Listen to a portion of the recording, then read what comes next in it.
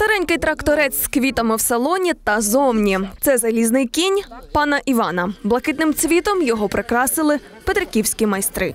І автобуси рисували, і кажуть, а ну дід Іван виганяй свій трактор. Ну я вигнав, ми розрисували. Я їм довіряю, наші художники Петриківські там вота. Хорошо рисують.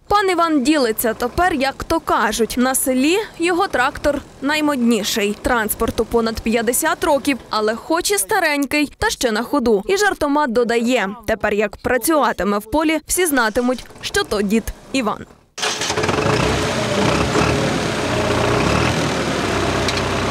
В поле не шкода виганяти чого? Того, що він робить хліб, заробляємо значить, хліб.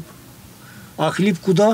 Кормить страну і нас теж. Окрім трактора, художники розмалювали блакитними квітами ще 11 жовтеньких автобусів і встановили національний рекорд України. Найбільша кількість автотранспорту розписана Петриківкою.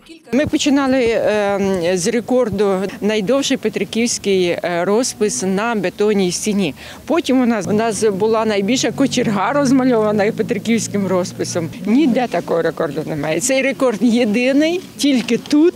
Над роботою працювало 13 майстрів. Вони розписали транспорт за два тижні. Діляться для малюнку, використали традиційний орнамент, класичну цибулину, калину та ромашку. Візерунок нанесли спеціальною фарбою. Зверху вкрили лаком, тож триматиметься довго.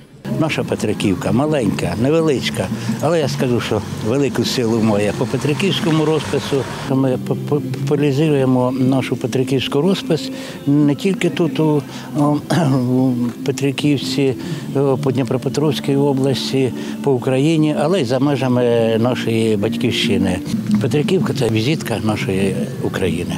Національний рекорд в Петриківці встановили з нагоди десятиріччя, як розпис несли до нематеріальної спадщини ЮНЕСКО. Це потужний поштовх нашим майстрам е, до їхньої творчості, бо вони зрозуміли, що те мистецтво, яке вони зберігають, яке володінь, воно потрібне у всьому світі. Тому це такий, знаєте, такий поштовх для їхньої творчості. Е, Нам би хотілося, звичайно, щоб не просто мистецтво розвивалося, щоб воно було пізнаване у всьому світі. Світлана Пархомук та Юлія Карнаух Open News, телеканал відкритий.